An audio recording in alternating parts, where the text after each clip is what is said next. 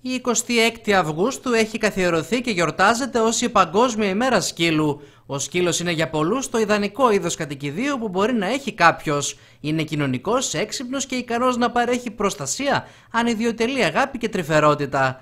Ο Κόλαν Πέιτς, ειδικός στον τρόπο ζωής των κατοικιδίων και υπέρμαχος της καλής μεταχείρισης των ζώων, ξεκίνησε την ημέρα αυτή το 2004. Είναι συγγραφέας, εκπαιδευτής σκύλων και οικολόγος. Η ημέρα που η 10χρονη Σέλτη υιοθετήθηκε από το καταφύγιο του Πέιτς για πρώτη φορά στις 26 Αυγούστου, επιλέχθηκε ως Παγκόσμια ημέρα σκύλου. Ο Πέιτς ανέπτυξε και προώθησε πολλές άλλες γιορτές όπως η Παγκόσμια ημέρα της Γάτας, η Παγκόσμια ημέρα των Κουταβιών, η Παγκόσμια ημέρα Άγριας Ζωής, πέραν της Παγκόσμιας ημέρας σκύλου.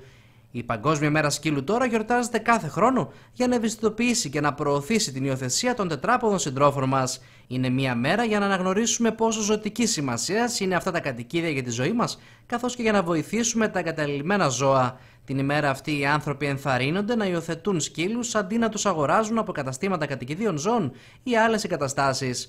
Η μέρα είναι κρίσιμη γιατί υπάρχουν εκατοντάδες σκυλιά που χρειάζονται διάσωση από τις τοπικές αρχές επειδή οι ιδιοκτήτες τους δεν τους παρέχουν μια αξιοπρεπή διαβίωση. Πολλά από αυτά τα σκυλιά υφίστανται κακομεταχείριση αφού δεν έχουν που να ζήσουν. Άλλα μάλιστα σκοτώνονται ανελαίητα ή δηλητηριάζονται όπως παρακολουθούμε σχεδόν καθημερινά. Πρώτα απ' όλα, χρόνια πολλά. Εύχομαι όλα τα σκυλάκια να, να είναι καλά στα σπιτάκια τους. Αυτά που δεν είναι να βρούνε σύντομα. Ε, οι άνθρωποι είμαστε πολύ πλευροί, όπως είπες κιόλας. Ε, αυτό που πρέπει να προσέχουμε και να, να έχουμε πολύ καλά στο μυαλό μας είναι ότι πρέπει να σεβόμαστε ο ένας τον άλλον. Ό,τι και να είναι, όποιος και να είναι, πρέπει να σεβόμαστε ο ένας τον άλλον. Θα πρέπει να μην ε, να μην λέμε καν τη λέξη κακοποίηση πια. Δυστυχώς και στην πόλη μας συναντάμε πολύ συχνά περιστατικά κακοποίησης. Είναι πάρα πολύ κακό. Ε, θα πρέπει να καταλάβουμε ότι όλοι έχουμε δικαίωμα στη ζωή και στην καλή ζωή κιόλας. Και το μήνυμα είναι ότι να αγαπάμε ό,τι υπάρχει και να το σεβόμαστε. Να μην... Ε, να μην δυσανασχετούμε όταν ο κόσμος απλά θέλει να ενημερώσει και να συμβουλέψει τους ανθρώπους πώς να προσεγγίζουμε σκύλους, ε, πώς να, να μην ενοχλούμε τους σκύλους για να μην μας ενοχλούν και οι σκύλοι. Η Μένια Νικολαίδου, που ασχολείται επαγγελματικά με την εκπαίδευση σκύλων 18 ολόκληρα χρόνια, μιλάει για το πόσο σημαντική είναι και η εκπαίδευση ενός σκύλου, αλλά και σε ποια ηλικία πρέπει αυτή να ξεκινάει. Το σημαντικό είναι όταν αποκτήσουμε ένα σκύλο να έρθει όσο νωρίτερα γίνεται κοντά μας, να, να έχει την, την κατάλληλη καθοδήγηση για τον κάθε σκύλο, για την κάθε ράτσα ή είτε είναι ημίαιμο. Ε, θα πρέπει να επενδύσουμε στην κουταβίσια ηλικία, να το πω έτσι, για να είναι όλα πιο εύκολα μετά. Και όλα τα σκυλάκια πρέπει να πάνε σχολείο ό,τι μέγεθος, όποιας ηλικίας πρέπει να πηγαίνουν σχολείο. Γιατί και εμείς θέλουμε να είμαστε καλοί πολίτες, αλλά να είναι και οι σκύλοι μας καλοί πολίτες επίσης. Να, να υπάρχει μια αρμονία στη συμβίωσή μας. Είτε έχουμε σκύλο, είτε δεν έχουμε.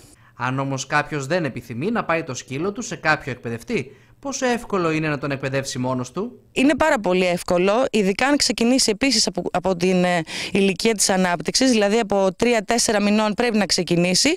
Μπορεί έστω και τηλεφωνικά να μας να μας καλέσει για να του δώσουμε μια μικρή καθοδήγηση, γιατί ξέρετε, υπάρχουν πάρα πολλοί ιδιοκτήτες που δεν έχουν εκπαιδεύσει το σκύλο τους και τους βλέπουμε πολλές φορές ότι τους συνοδεύουν και χωρίς λουρί. Που δεν είναι σωστό σε καμία περίπτωση, αλλά θέλω να τονίσω πιο πολύ τη σχέση που υπάρχει μεταξύ σκύλου και ιδιοκτήτη. Χωρίς ε, επαγγελματική βοήθεια. Στο κέντρο εκπαίδευσης σκύλων της κυρίας Νικολαίδου, που βρίσκεται στο Αρίστινο της Τραϊανούπολης, μπορεί κάποιος να συναντήσει και τη Λίτσα, η οποία είναι μια αξιαγάπητη σκυλίτσα, που μάλιστα είναι προσιοθεσία. Η Λίτσα μας ε, είναι μια σκυλίτσα η οποία πέρυσι το χειμώνα βρέθηκε σε μια πολύ πολύ κακή κατάσταση, πάρα πάρα πολύ αδύνατη και ταλαιπωρημένη και καταφέραμε να την πιάσουμε γιατί την κυνηγούσαμε δύο μήνες. Ε, την πιάσαμε, την κάναμε στήρωση και είναι διαθέσιμη. Όποιος θέλει να την αποκτήσει, εδώ είναι. Ε, τι, να πούμε και τη ράτσα, πόσο χρόνο είναι; Η, η λίτσα μας είναι κυνηγόσκυλο, από ό,τι έψαξα και είδα είναι ούγκρικης καταγωγής. Ε, είναι περίπου 3-4 χρονών.